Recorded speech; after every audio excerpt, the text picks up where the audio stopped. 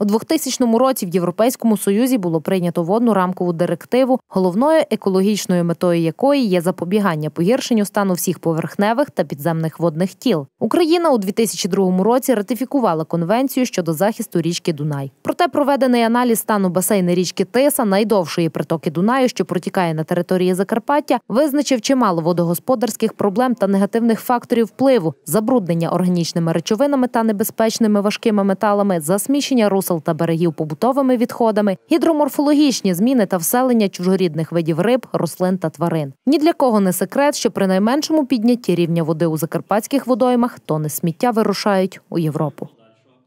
Частину екологічних проблем ми створюємо тут. Спокійно сплавляємо її, коли сплавляли її наші бокораші в Європу. Не менша проблема із очисними спорудами та водостічними каналізаціями. Практично по всій території Закарпаття ці системи не в кращому стані. І аналізуючи сучасний екологічний статус поверхневих водних тіл та заходи, що реалізуються або заплановані в обласних та районних програмах, і враховуючи їхнє систематичне недофінансування, покращень найближчим часом очікувати не варто. Частина е, голів бачить, що відсутнє фінансування, опускаються руки, знайти кошти проблематично. Гроші взагалі які бувають? Бувають наші власні, які ми отримали вигляді податків. Бувають субвенція із районного обласного бюджету, яка може бути дана або не дана по певних причинах. Ну і механізм, який запровадила наша держава, Державний фонд регіонального розвитку.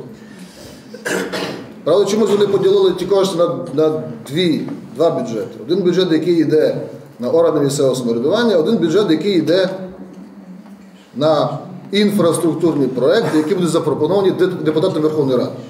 Ось так і виходить, що внаслідок розпорошеності коштів та відсутності механізму їхньої консолідації чекати на покращення не доводиться. Хоча говорити про те, що у Верховній Раді зовсім не займаються екологічними проблемами краю, не варто.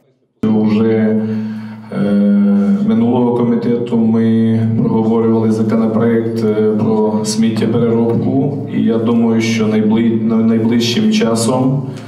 Е, цей законопроект буде в Верховній Раді відпрацьований таким чином, щоб ми, е, наша держава поміняла фокус погляду на сміттєпереробку взагалі, тому що е, не велося належної роботи в державі. Але ще раз повторюю, найближчим часом цей законопроект пройде комітет і буде в Верховній Раді. Проте ініціативу з покращення екологічної ситуації вирішили вести на місцях, тому і створили екоасоціацію Закарпаття за чисте довкілля та долучитися до програми збереження екосистеми долини річки Тиса на прикордонній території України, Угорщини, Румунії та Словаччини. Головою асоціації обрали голову Полянської об'єднаної територіальної громади Івана Дрогобецького. Планують, що програма охопить не менше 5% населення області. Ті населені пункти, які вже зараз працюють над цією темою. Це 5% населення Закарпатської області. Е, ви бачите, що це Поляна, Великий Березний, Буштино, Перечин, Сторожниця, Іршава, Воловець, Міжгір'я.